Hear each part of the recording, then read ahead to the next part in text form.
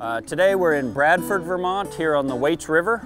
And behind me is the Bradford Golf Course where we just completed a project this summer and fall where the uh, Tropical Storm Irene really did some damage to the golf course and mainly because at the bridge upstream from us there was a lot of riprap that got washed downstream and Irene created this island that I'm standing on in the middle of the river. Once this island was here, the uh, flow from the river went to the golf course uh, and increased the amount of erosion that they were seeing. So in the last couple years, they were losing more and more land, starting to threaten the golf course. They contacted the Watershed Council, asked me to come out and look at it, and we decided we could do some stream bank stabilization here to help uh, reduce erosion in the river and also to uh, create some fish and wildlife habitat in the, in the process. The specific project that we did here in Bradford on the Waits River was to use root wads to help stabilize the bank. So the Watershed Council, we wrote a grant to get the funding to do this and we hired a contractor and forester who went over to Thetford, Vermont and got the root wads and the trees and trucked them over here to Bradford. And what we did was dug out the eroding bank, put in logs down at the water level so the water couldn't scour under the root wads. And then we went in and placed root wads side by side so that the root wads are touching and interconnected. And that will help create habitat, but also help di direct the flow away from that bank. So in the spring, when the water comes up and the high water is hitting that bank, now instead of hitting loose dirt, it's gonna hit the root wads and it'll help hold the bank in place, those root wads will.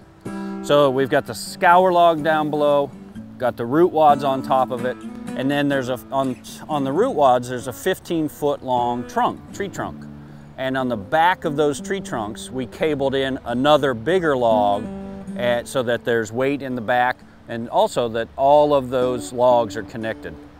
So we've got four different bunches of root wads. There's six root wads on the upstream side, there's five root wads in the middle, then four, then down at the end there's three. Uh, we've got spaces in between them, so that's where you know you'll have a little back eddy and uh, sediment will start to collect in there and the bank will actually start to build itself back out. 200 years ago, this area would be all planted with trees. Like down below, the floodplain forest, you don't get erosion in there because there's a ton of trees. So yes, it floods, and there's a great wetland in there. There's always ducks, snow egrets come in. You know, it's a wonderful wildlife area down around the bend of the golf course down towards the Connecticut River. And that's what we're trying to extend um, by doing this project further upstream. One of our partners is the U.S. Fish and Wildlife Service. And the reason they're involved is because of the root wads creating fish habitat, but when we plant trees in the spring, we'll also have that additional bird habitat, extending that floodplain forest for about 150 feet upstream.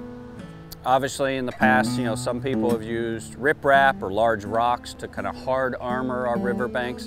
And that's really, first of all, it's a very costly way to do it. Um, and it's really not great for the river or for the wildlife. Um, when you hard armor a bank like that, you tend to deflect the flow, so you're just pushing the problem somewhere else. It's going across the river if you're in a small brook, or upstream or downstream if you're in a bigger area. With the root wad project, it's a softer project, a little, you know, soft armoring, if you will, and it's been very successful in Vermont.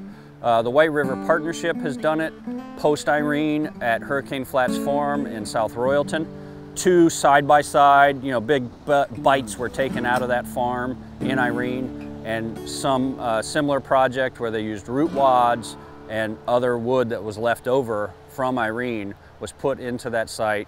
Obviously, you're still planting, you're still, you know, recreating some, some soil on those sites, just like we did here in Bradford. Um, but the root wads are really what, you know, help hold it in place and take the brunt of the high water. And it creates fish habitat, Tree planting on top creates wildlife habitat, so it's a far better and more environmentally friendly way to solve our erosion problems than a riprap job. We're not going to stop floods. There's going to be ice and snow in the spring. There's going to be another storm like Irene, and these areas are still going to flood. What we're trying to prevent is that massive damage that we saw in Irene.